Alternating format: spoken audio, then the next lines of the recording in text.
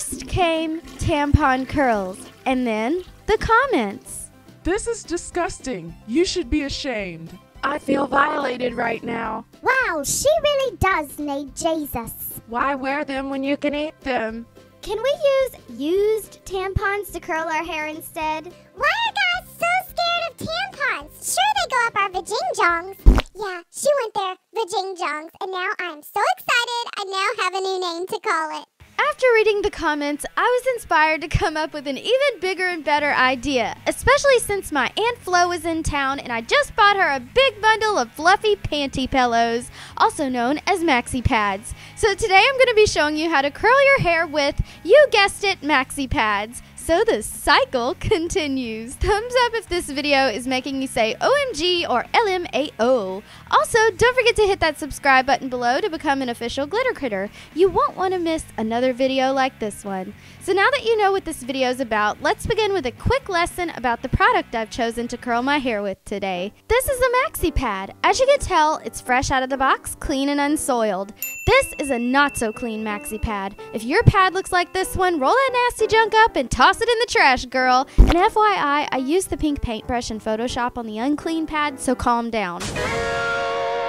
You want to start with damp hair right out of the shower. And remember when I said use fresh, clean pads? This means they are merely made of cotton and miscellaneous fibers. These pads have never even come close to a vajingjong. So again, calm down. As you can see, I'm using the ultra thin pads without wings. And all you do is begin rolling them back to where the soft side is present. Roll it the other way, and your hair will be in a very sticky situation, sort of like when you have ketchup in your kitten. So after rolling up about 16 pads, I put them all in a basket, and even after you finish this tutorial, you don't have to go and buy all new pads again. You could still reuse these same pads. So next, I just applied a defrizzing cream all throughout my hair, and let me just tell you, this is the normal part of the tutorial. Also brush the cream through my hair just to distribute it a little bit better while singing a lovely tune. So now I just took medium sections of my damp hair and I started at the ends and began rolling tightly up to my head. And I used bobby pins to secure them in place and I just continued the same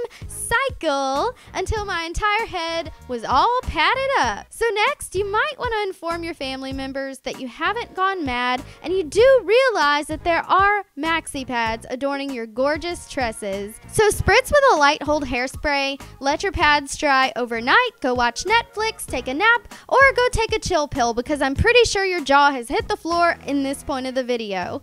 So after letting my hair dry fully for six hours, I'm removing all of the pads and I just let my masterpiece unfold. And I have to admit this kooky method actually worked and it exceeded my expectations all without using a stitch of heat. So here's the finished result. So if someone asks you how you got these gorgeous curly cues, just tell them it was a long cycle. Period.